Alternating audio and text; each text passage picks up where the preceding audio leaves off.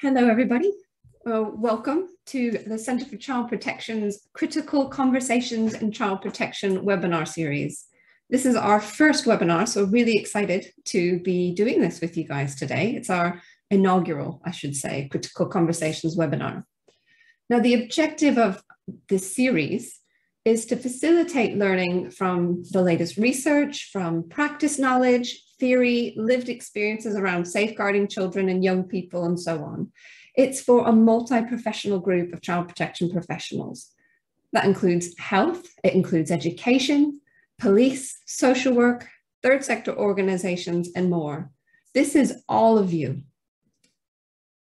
Now, I'm the head of the Center for Child Protection, and my name is Tracy Green.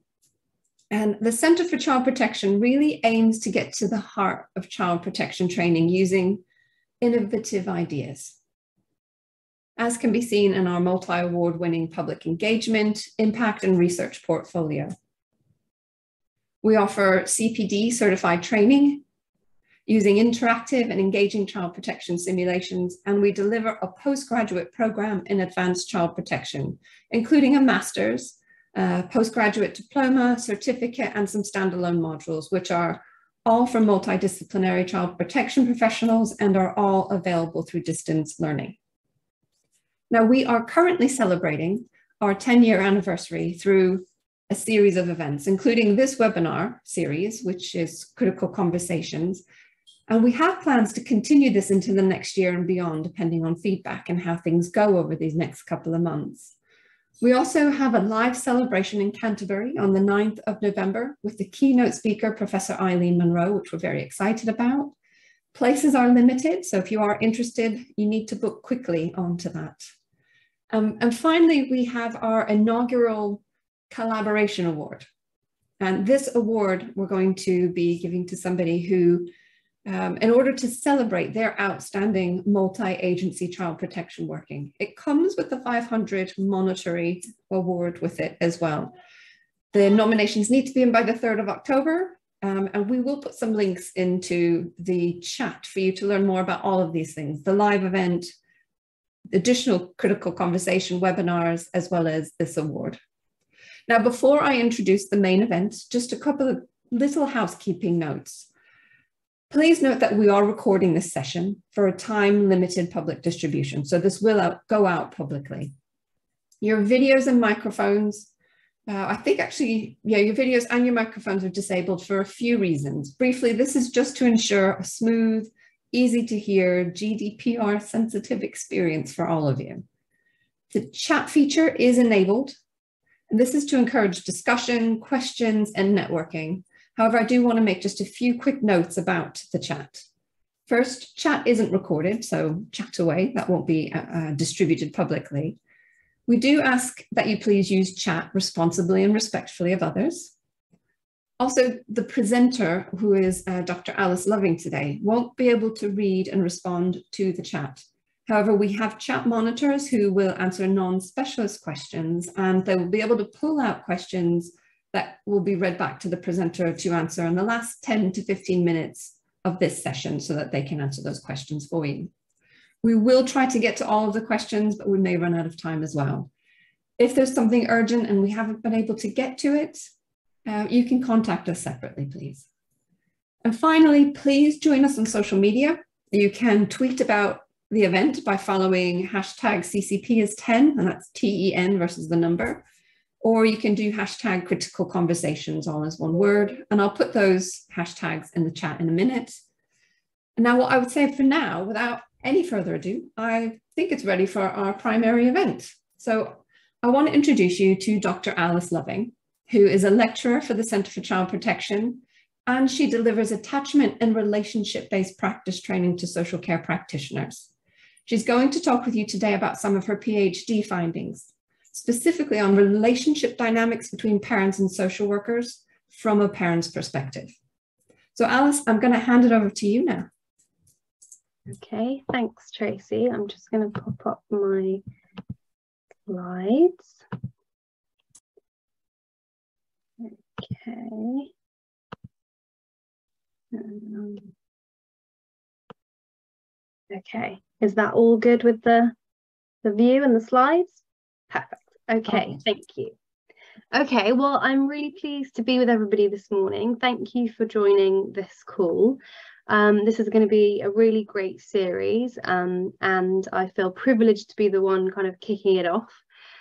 So, without further ado, this is going to be about a 40 minute uh, lecture um, talking about some of my findings on a very specific part of my research, but I wanted to kind of introduce you at the start to what the, the give a bit of context to what the research project was um, actually focusing on.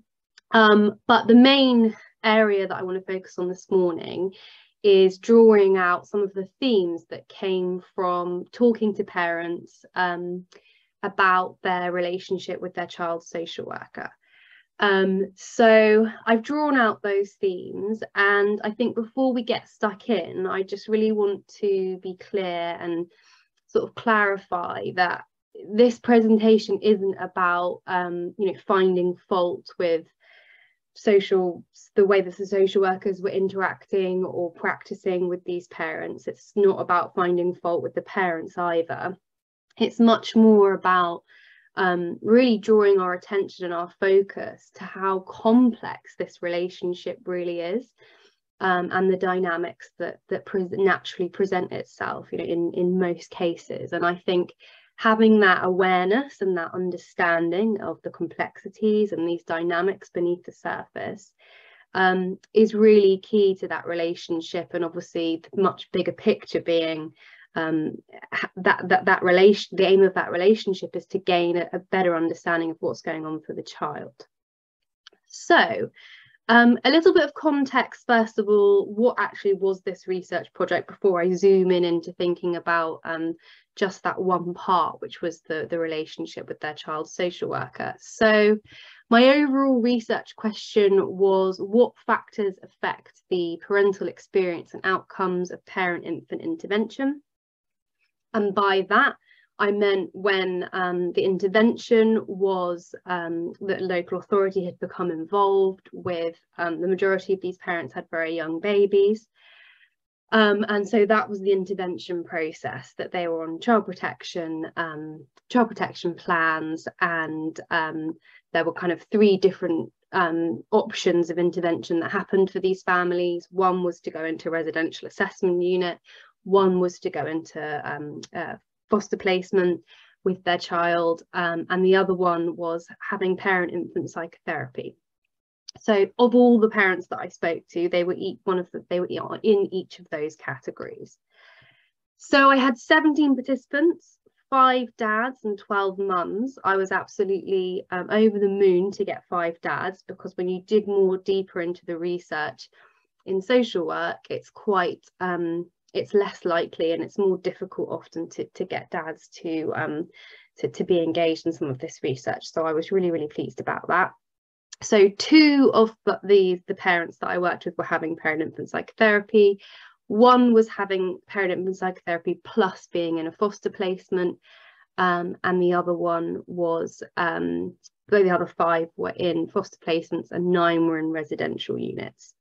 So what I was essentially wanting to look at with that research question is what were the things that were the factors or the, the, the areas that were positive and helpful that might have meant that those participants that had a positive outcome and returned to the community with their with their children what was it about their situation that intervention that might have given them more of an opportunity for that to have that successful outcome? Equally those that had their children removed from their care because I followed them throughout the entire period of the proceedings. It was about a six month period.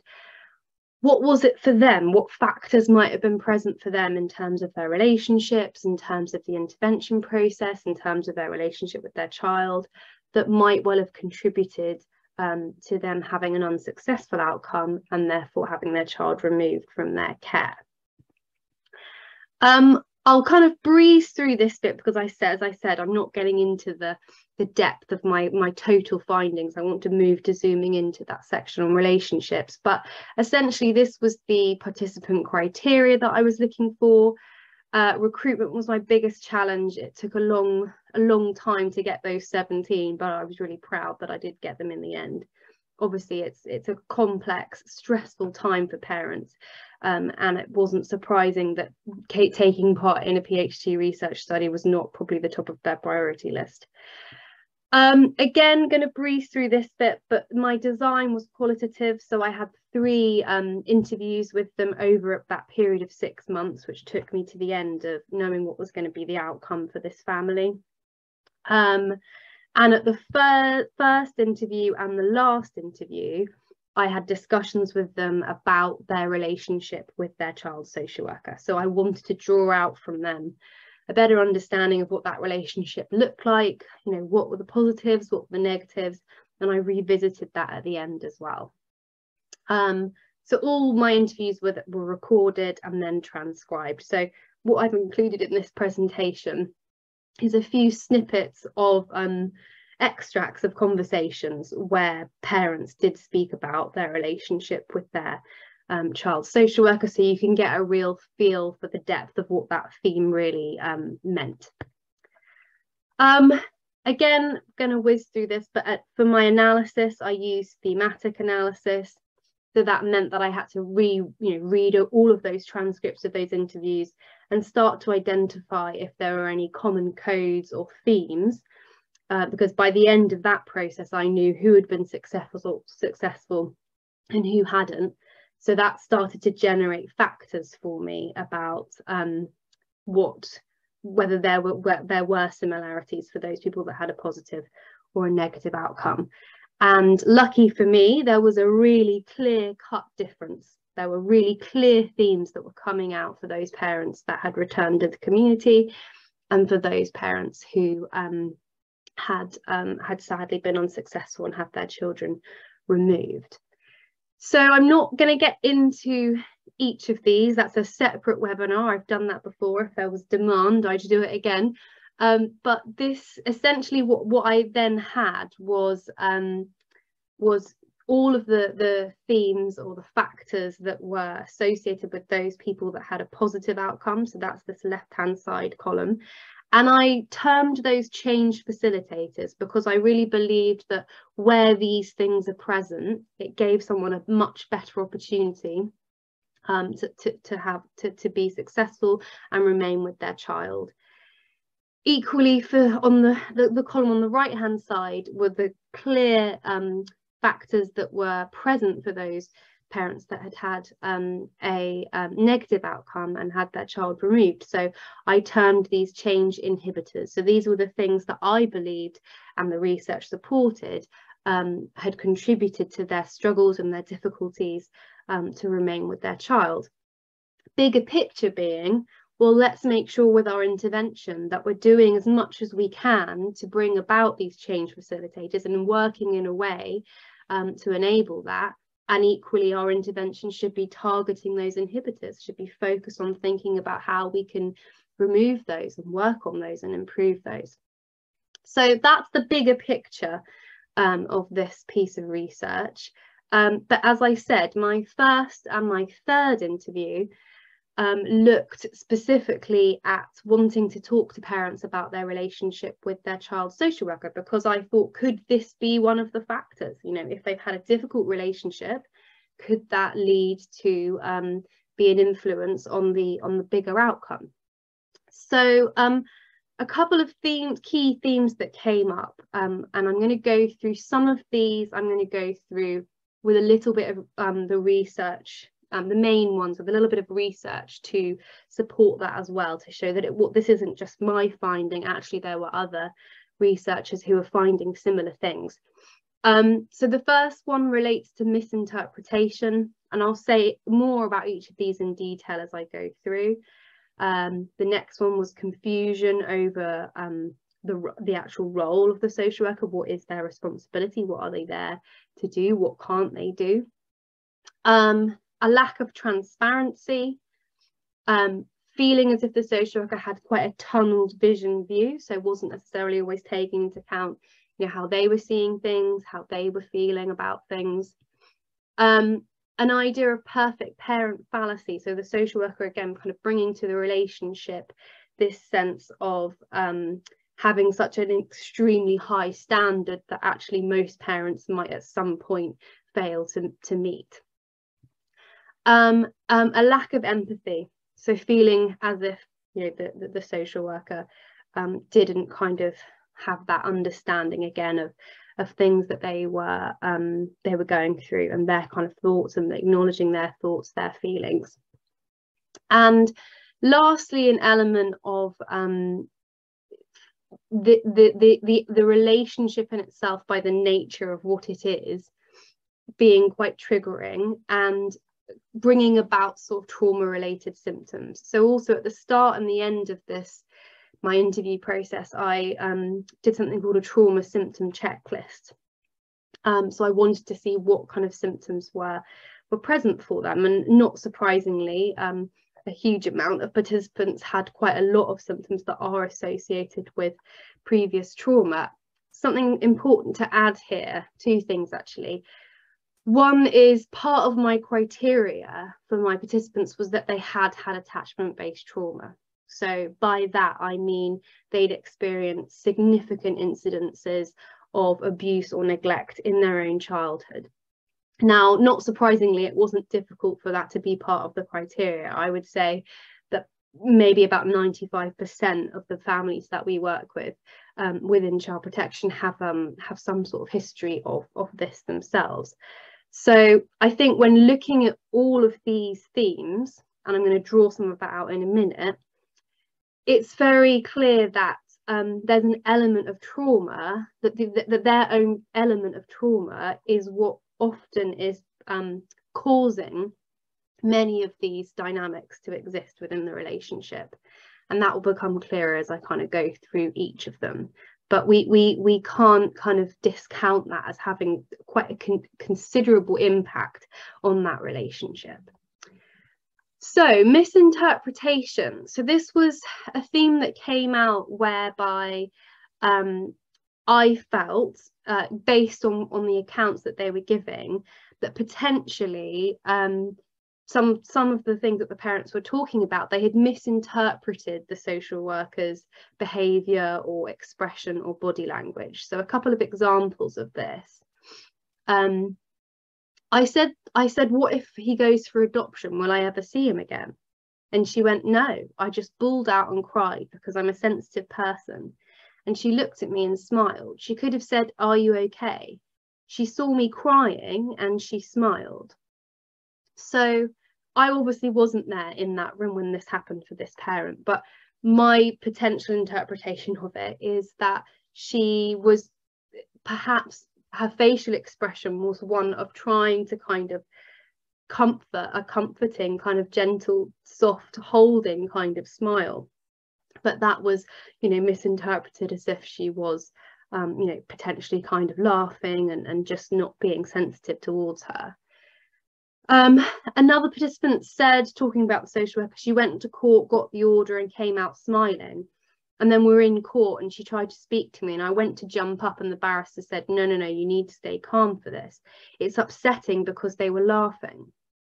Now, I find it very hard to, to think that that situation happened exactly as that parent has described, that, that, that a social worker would be um, laughing and smiling. I mean, it it might be that they might have smiled at some point during that process just in a kind of natural engagement maybe with the people that they're around. But i think it just highlights how much in that scenario you're kind of on watch and, and, and on show.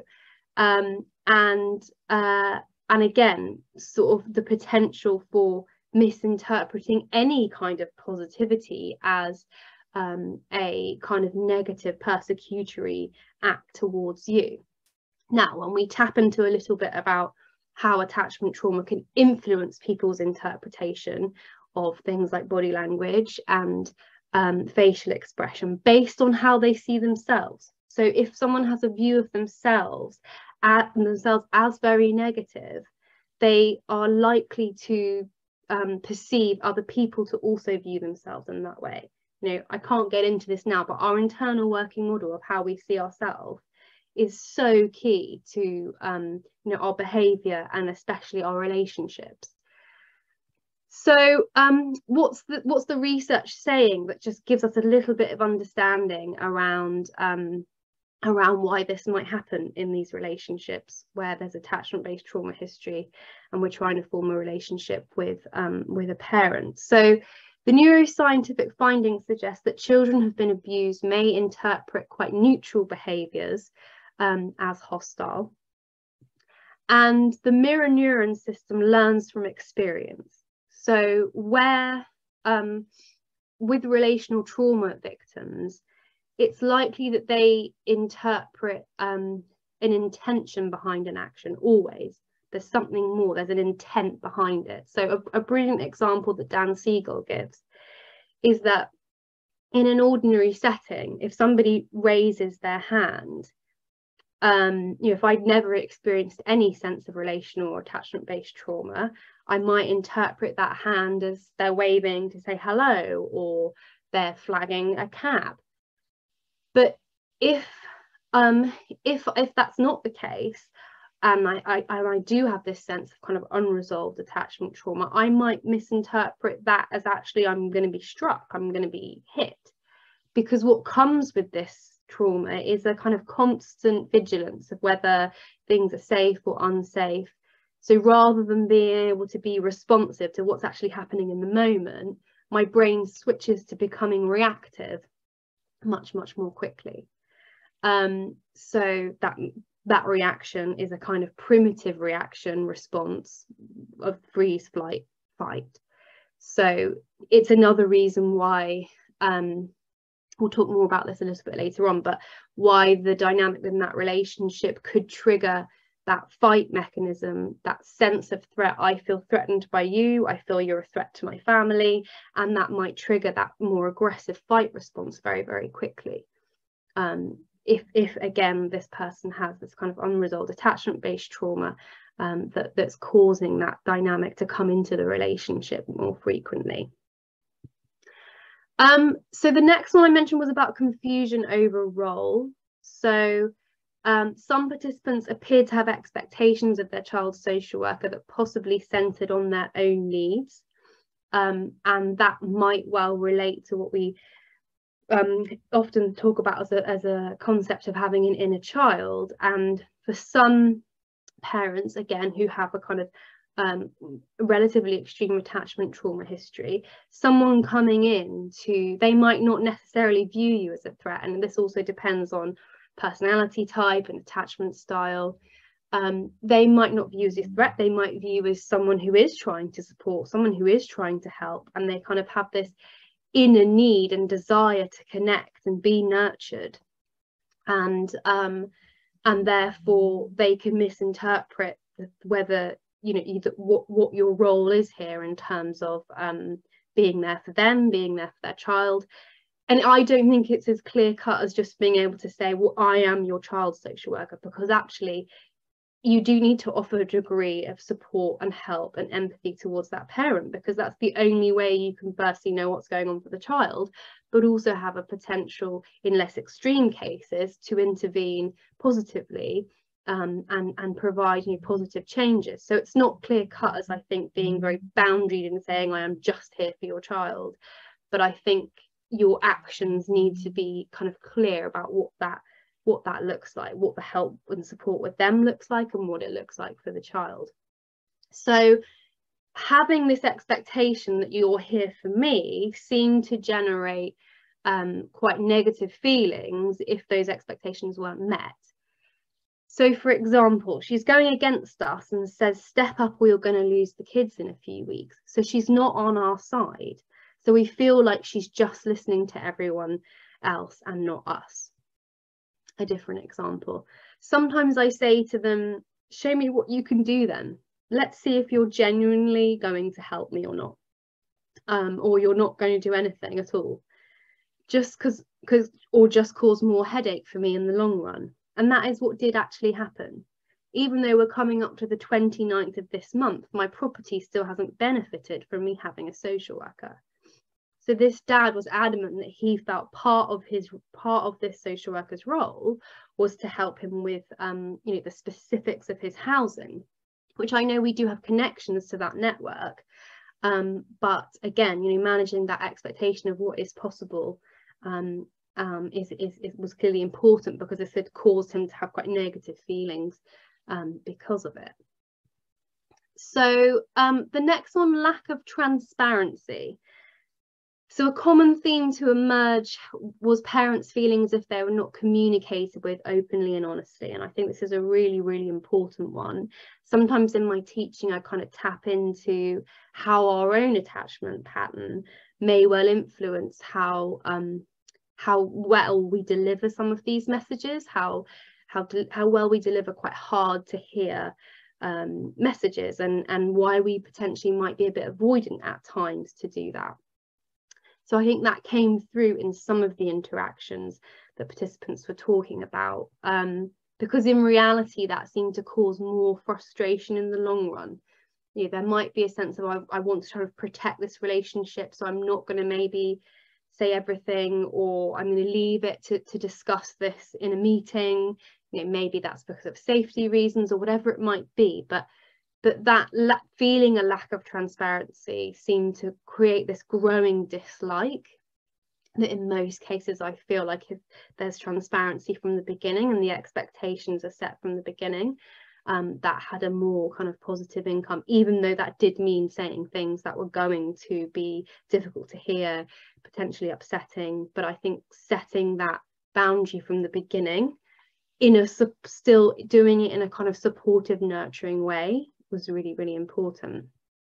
Um, so it appeared that when this was occurring, it might have contributed to a breakdown in the relationship, which generated a distrust. And I think as soon as you have a distrust present, it's quite hard to get that back. And that distrust then impacts on engagement and receptivity. Um, and yeah, in many cases, once that distrust set in, it it didn't um there it did the relationship didn't recover. So the traumatized brain, someone who has, as I said, had this attachment-based trauma, is kind of hard, uh, the hard wiring is present, but it's often been traumatized. So the software is, is often programmed to be fearful and distrusting. So again, you know, you, you, you're potentially coming into a situation with someone who already at the start has a sense of being kind of fearful and distrusting of others. So getting this right from the beginning is is so so important.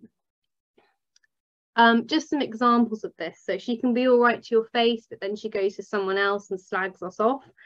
Like at our family conference it was really good. Apparently it was all positive. She agreed to do it and then she came she's come here and she basically said to the manager of this place that the family conference went crap but she said to our face that it went good and was really happy um, I kicked off a bit and said, if you had a problem with me being in there in the first place, why didn't you take me away before the three months? But they said, we haven't got no concerns about you, but then in court they did. They really were contradicting themselves. Horrible. I had no relationship with her. She wouldn't tell me nothing. She held information back from me. She had um, a double standard sort of approach to things. She would say one thing to me and then say something to somebody else he walked into the hospital on the discharge planning meeting and he wasn't going to let me home. And that was the first time I'd been told that apparently I'd said some really disturbing things. And I was like, What are you talking about? I have no idea what you're talking about. Like, talk to me. Um, so, all of those are very different individual cases. There's going to be other things going on, but there is this clear sense of not feeling like there's a transparency and honesty and openness. Okay, tunnel vision. So um, this one was that some participants were reporting a feeling that when disagreements did occur, there was a kind of tunnel vision approach. So disagreements between with between them, so between them and their child social worker, that there was a tunnel vision approach whereby they did not feel listened to or understood. And I think regardless of whether you agree with what that parent is saying, we can all give the space and the time for someone to feel like they're being listened to um, and that their their perspective is at least understood why they what you don't have to agree with it but they can understand why they might be feeling that way. Um, this may then have impacted on their engagement with the requests being made by the social worker. So this kind of links into a concept that again I don't have too much time to go into detail about now but something that's used quite a lot within the psychology world and therapeutic world which is this idea of epistemic trust, this idea of needing to feel like your the, the client the client needs to feel like you understand what it's like to be them. You have to agree with what their perception is, but you understand how they've got to a position in their mind based on whatever it might be, the immediate interaction, their past. You understand what it's like to be them because if they don't get that sense from you, they might hear what you're saying, but they're not actually listening. So, again, in terms of engagement, it's essential that we do get to a place that um, you know, parents are able to listen to what we're saying. But the reality is that by the nature of the psychology behind this, they will not be listening. They might hear, but they're not really taking it in and listening and processing if they don't feel like you're coming to this with a with a desire to understand them, with, with actually genuinely understanding them. So that's a really, really important part of the relationship. So a, an example here, a social worker should have their opinion, but also take on board the opinion of the person they are working with. Whereas in her position, she is right, her opinion is what matters, she is the one who says what happens, and the other person does not matter. The man has based his opinion of me by what the midwives had said, he should have come to me and introduced himself, got a little bit of a first impression. So that's based off a, off a mum whose experience was she'd had quite a hallucinative episode, which was most likely down to um, the drugs that she'd had during labour, but also there was a history there with her previous child having been um, cared for by her mum due to mental health difficulties. Um, so they, they'd kind of made a, a decision that she would need um, you know, child protection intervention upon leaving the hospital. Um, but I think this this mum just felt um, that she didn't disagree with the decision, but she felt like it, this she was hearing what this man's plan was and what his thoughts were at the discharge planning meeting rather than him actually speaking to the midwife, speaking to her, coming to the meeting. And that might have been a time thing. Who knows? You know, I'm, I'm not I'm not gonna stand here and think that we have this idealistic system where it's possible to to do all of this all of the time. Um, but but that's that's kind of the the backstory to that. Um, so in terms of thinking about that theme, tunnel vision, so Similar findings from other researchers um, who noted that in some cases parents felt that practitioner, practitioners had a very narrow had narrow preconceived ideas about the problems that were present. So I often talk in my teaching about um, you know seeing each case individually, not just basing things purely on what's written and the past, but you know seeing seeing each each client as an individual and a new start in their relationship with you. Um, not feeling listened to also features within other studies. Um, Forrester's work noted low level, levels of listening from um, social workers. Um, and there's a paper by Ross that I've included in a link below this um, below uh, this webinar, which you can read, um, which is titled Talking to a paper where they talked to families whose children were actually placed into care. And the title of the whole paper is No Voice, No Opinion, Nothing indicating some similar feelings there.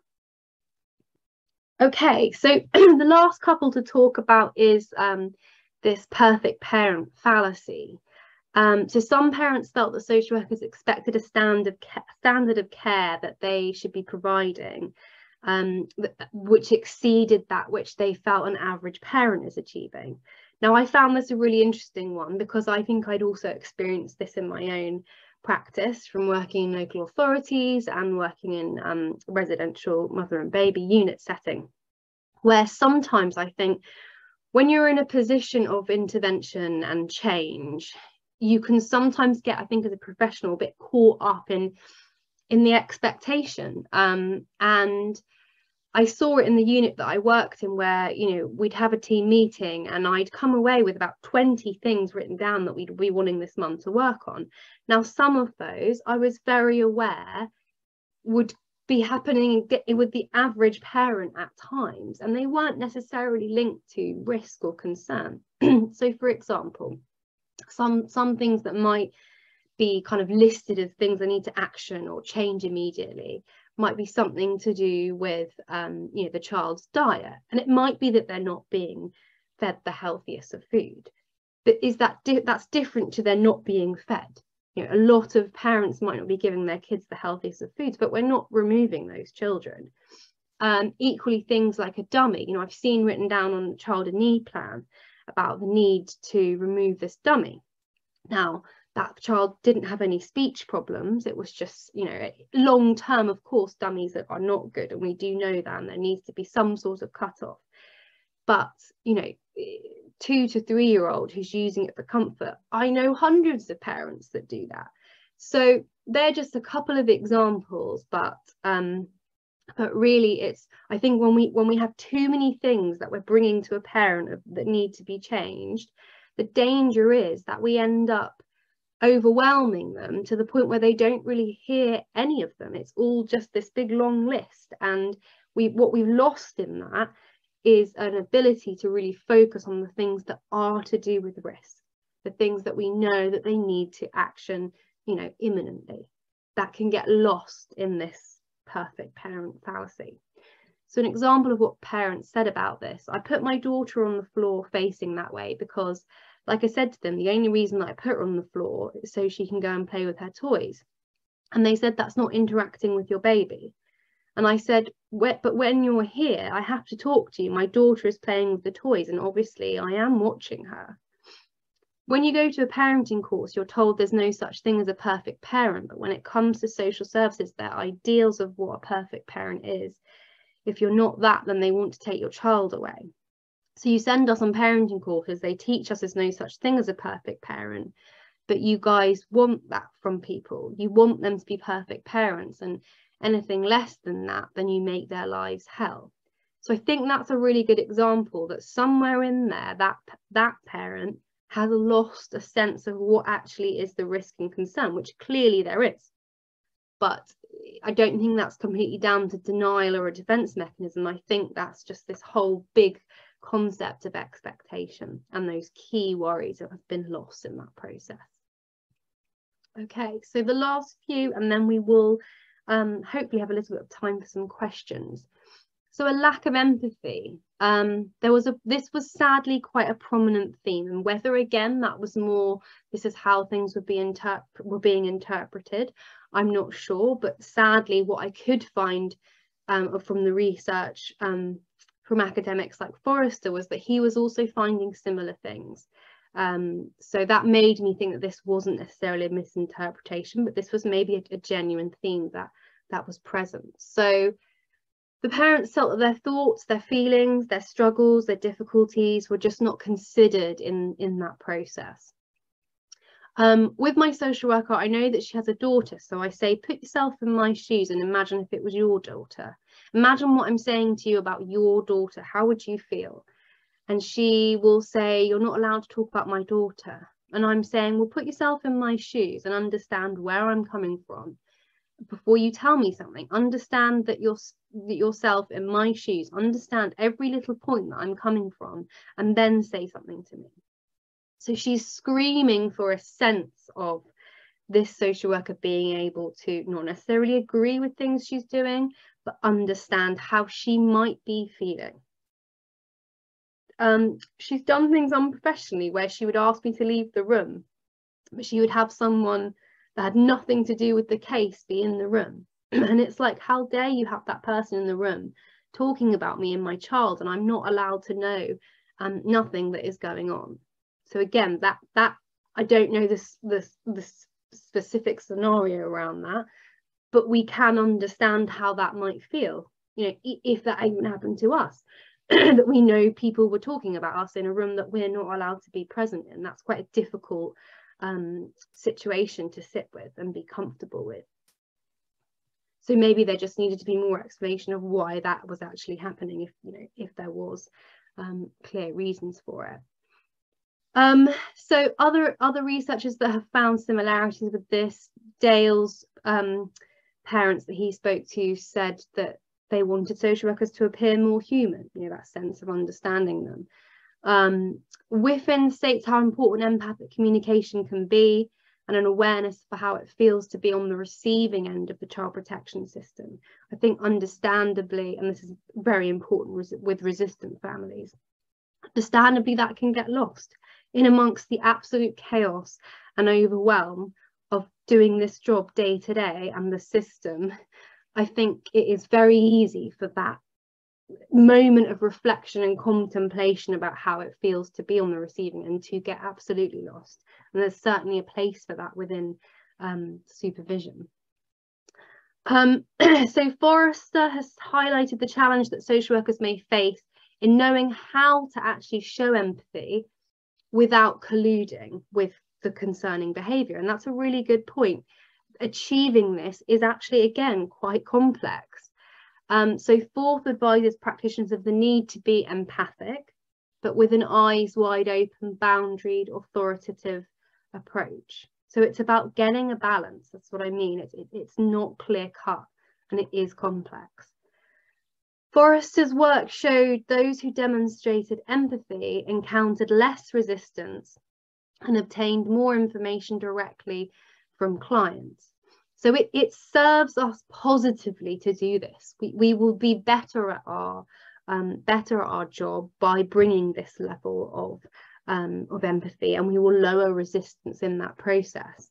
Behaving in an empathic way did not impact on their ability to identify concerns and discuss those with parents. So it doesn't, that that's the perfect balance to be had. But I'm, I'm by no means standing here and saying that that's easy to achieve, but that's essentially how it would how it would look. And as I said before, the importance of this sense of epistemic trust, having somebody feel like you understand what it's like to be them, otherwise you'll get nowhere in that relationship of them listening to the things that we really need them to listen to, you know, the concerns, the worries, the risks. Um, mentalization, haven't got time to go into that now because I've got about five more minutes and then we'll go into questions. But um, obviously this process again it very much links with empathy this the ability to think about what was in someone's mind what are they thinking and feeling and therefore we can understand their behavior much better we can respond in the right way in an appropriate attuned sensitive way just as we we do in the context of talking about wanting parents to do that who mentalize well as practitioners we need to be mentalizing for the child to help the parent to see what's in the child's mind but we also need to be mentalizing for the practitioners um, for the parents, sorry. So, um, but our ability to do this, you know, to offer empathy, to be considerate about what's in people's minds, is massively compromised by um, our own level of stress and tiredness and burnout. Now, I don't know any any um, practitioner currently working in frontline social care who's not frequently experiencing periods of stress and overwhelm and burnout. So it's not surprising to me that that that is that is being compromised in our relationships with parents and like i said before the system it doesn't lend itself to being able to do some of these things particularly easily okay so the last one is um, this sense of the relationship having an underlying kind of trauma inducing factor for uh, some parents. So they reported trauma symptoms that were directly connected to the relationship with the social worker. So the night before the social, they know the social worker is coming, not sleeping. Um, the morning that they know they're coming, not eating. As soon as they hear their car that starts to trigger you know a kind of autonomic arousal and they can feel their heart racing. At that point obviously they might have an increase in adrenaline. And already all of those things have set that parent up into not necessarily a very receptive way of engaging. And i think that might be why for some people the moment they walk in they're sensing a kind of um, well basically that kind of sort of fight response from the beginning because that is what their body is actually um, doing beneath the surface. So again it's so so complex. Um, and it's not just seeing someone as being difficult and aggressive it's understanding where and why that comes from. Um, this is not surprising given the potential fear and anxiety felt within that relationship as well you know the fear of what this person is going to do taking their child um you know reporting them for whatever what else might be going on in their life you know there's there's it's understandable that fear and anxiety would be present. Um and this might link to previous feelings again with those with attachment based trauma of what we call fear without solution. So mary main has used this term to talk about um, children who are being abused by the person who is supposed to be offering them comfort and protection that that creates a sense of fear because they are fearful of the harm that person is inflicting on them but they have no solution. They have no control over what's happening um, because that that person is supposed to be their caregiver. So I kind of delved a little bit deeper into this with my research and I felt like that fear without solution could also be present as an adult when you're having to engage with a social worker because you are fearful of what's going to happen you also feel very much like it's all out of your control. And unless it's an extreme case, I think it's really important for that message to get across to the parent that actually you you you do have the ability um, to, to control which way this goes. It is in your hands rather than being in someone else's. What you choose to do next, how you choose to engage, what changes you choose to make, it's all on you. You are actually in control here. So um, I think we need to try and yeah dispel that sense of not not being in control of the solution and that might minimize some of that fear which is what we need to do to, to, to engage in a more positive relationship. Um, the relational trauma triggers um, could, could cause the emergence of worse self behavior. So I definitely noticed that when there's a good relationship with the, the social worker, they're able to be their best version of their best self when that relationship wasn't positive it almost brings out their absolute worst behavior. Some some inner child sort of behavior you know being difficult being defiant being potentially aggressive. And these these parents weren't like that all the time with everybody else. But again the dynamic of that relationship could trigger that emergence of of worse self which obviously didn't um didn't benefit them in any way um, so a little bit, a few examples of this. I feel like uh, when I've not seen my social worker for a few days, I feel happy and I know that I feel okay. And then when I see her, I think, you know what, I don't want to see this lady right now because it really stresses me out.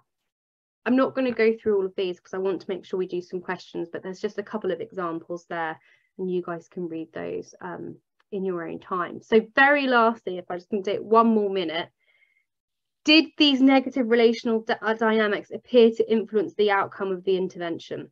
So did I find if they had a good relationship, they had a successful outcome. If they had a negative relationship, that impacted negatively on the outcome. Surprisingly not. So aside from one participant, all of the participants reported a negative relationship with their child's social worker, including those who had a positive outcome. Why? Um, perhaps the presence of those change facilitators in this group kind of buffered the impact that that negative relationship had on the outcome, but it still was present for them that it wasn't a positive experience. Um, that is, of course, not to minimize the importance of having that positive working relationship. You know, those those people were successful because they had other things going on for them. Um, so yes, so lastly, what were some of the things, not surprisingly, people wanted from a social worker? To feel understood, that they had some sense of compassion and, um, and openness. So I think I will leave that there um, and come out of my presentation. Shall I come out of this, Tracy? That, is that the best yeah, yeah, I think that would be yeah. good. Thank you, okay. Alice. I mean, that's been absolutely fascinating as expected. And I do want to just direct you in due course to have a look at the chat because there are some really nice comments in there too. I think with the chat, there's been a little bit of confusion because sometimes the chat can go to everybody. Sometimes it's just going to the panelists. So, oh. um, so yes, um, I think that that's been a little bit of a, um, so we might be replying to everybody based on things that have just been sent to us. So apologies for any confusion on that. There have been a couple of questions for you, Alice, though. And Great. I'll present those that have come to us in chat. The first one we had is Didn't you feel that your interviews could actually be interventions in themselves? That during an incredibly stressful time in their lives, it might feel a positive experience to have somebody who was just listening to them without judging, that they could speak freely without fear or repercussions? Yeah, what a lovely question. And yes, I did feel that. I felt really privileged to actually have that opportunity to be there, not with a social work hat on, but just simply being there to give them that space. And I think it really, one of my key themes was about those people that did did well they had that sense of acceptance they'd accepted what had happened and i think even that interview those interviews gave them a chance to talk things through and, and reflect and and get into that mindset. And equally for those that weren't successful they were stuck in this place of denial. So i think it, it definitely opened up this idea to giving people that space and it, it not not happening because ideally that could be happening maybe with a therapist but we know that that's you know a limited um, limited resource something that just came to mind with that question as well is that one of my participants I asked her when talking about the presence of an angel in the nursery so someone who was able to offer you kind of comfort and protection in amongst the chaos but equally could they think of anyone now as an adult who they saw as a kind of supportive someone that wants to understand them kind of figure. And the girl, the parent I interviewed, mentioned the therapist, and she said me. She said it might sound crazy, but I'd say you know, in my interactions with you, I have kind of felt that. So that was lovely. Um, that that didn't feel like I'd overstepped the boundary. It felt like that was part of the process of of engaging with her. So yeah, that meant quite a lot. Brilliant, thank you. I do want to just get to another question, I think is very, another really interesting one is how can we as social workers or child protection professionals be child centered as well as fully serve some parents who are not obviously prioritizing their child's safety and well-being due to them minimizing concerns? Yes. So I think how how we be uh, child centered but also focusing on the parents needs within that is probably within that process of what intervention looks like. So I think we are benefiting the parent and the child if we're doing pieces of work with them which focus on things like mentalization. So in that instance, I think that parent is probably struggling to see whatever that safety risk is, they're struggling to see it from their child's perspective.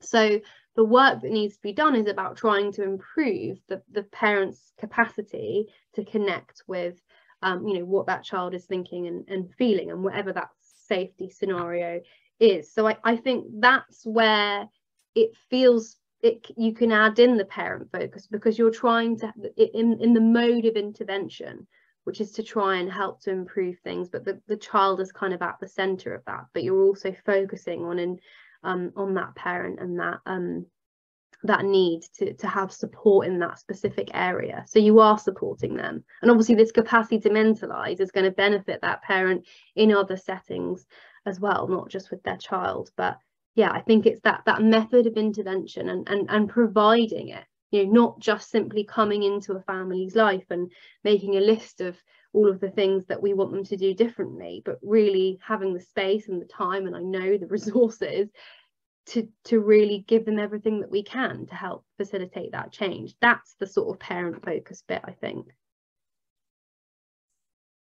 And it's it's I mean uh, from the social work perspective in particular as well, there is always that social work dichotomy between care and control, which that question is it really a dichotomy or is they or are they one and the same? in, in, in sort of a, a stretch sense. Um, I've got, uh, there's a couple of chats that have come in, but I'll ask you one other question here that I've got. Quite a few social workers, child protection workers, might not feel qualified to talk to parents about their attachment trauma. What do you suggest or advise? Yeah, so that one comes up quite a lot in um, in my teaching, and we delve into this attachment trauma and um, the dynamics between that and the impact on parenting a bit more in our in our masters so it comes up then often with professionals thinking about it. But I think my answer is always the same, which is the more learning and teaching you you have around that, you can see how critical attachment trauma is in kind of a piece of the puzzle of working out why a child is uh, why a parent might be struggling or parenting in the way that they are. So it's something that we have to as social workers be acknowledging and exploring um, you know it's part of the role of understanding the why and what needs to happen um, but I can completely understand why some people might have, have some apprehension about not feeling they're not a trained therapist, they're not a trained psychologist. But I think the foundations there of discussing some of these things are key for two reasons. One is that's also doing the bit of trying to understand, helping them feel that you're trying to understand them. Building that epistemic trust. I want to hear about your experiences. I want to hear about um, about what's gone on for you so that I can understand you better. Um, so I think we have to do that bit and then it might be from there on that we actually realize that a full you know assessment by a psychologist or a therapist needs to take place but it is within our remit and our role to gather that information um, and I think there's also an element of confidence and, and feeling comfortable with that because we are trained to have really difficult conversations. We are trained to manage emotion. We are trained to um, to, to provide containment in stressful, difficult situations. So all those skills are actually there anyway and being done probably day to day. So it's bringing that into into those conversations and into those discussions. But I think it comes with with time and and gaining kind of confidence with that. But it's definitely something that you know, people have this fear of opening up Pandora's box, but the box has got to be open. You know, it's such a key key piece of that puzzle of, of understanding the risk and the situation and um, and and why someone might be parenting in the way that they are. I'm aware we've got one minute till the end, but we've had two other really good questions come in. So we will keep recording, but if for those of you who have done this as an early morning break and you've got to get back to work, go. Uh, we won't take any more questions after this, but I do want to just present you with these last two questions, if that's okay, Alice. Yeah. One of them's a big one, so bear with me while Ooh. I read through it. It's good. Okay. It's a big one. Okay. So, how do we deliver double standards of perfect practice, sort of when we, child protection social workers, were posed with having to deal with parents who feel you were their social workers by presenting their own problems rather than their immediate child's welfare? For example, concerned on how their children were removed from them previously because of this and that, and not focusing on the current and immediate concerns of their children still in their care. Do you think such parents will always say you have empath- empathy with them if you're more focused to the current concern? Oh, that's a, there's a lot in there. there so, um, I think I think giving them the space and the time to discuss and reflect and talk about those previous um, previous removals is so important and I don't think it really happens enough.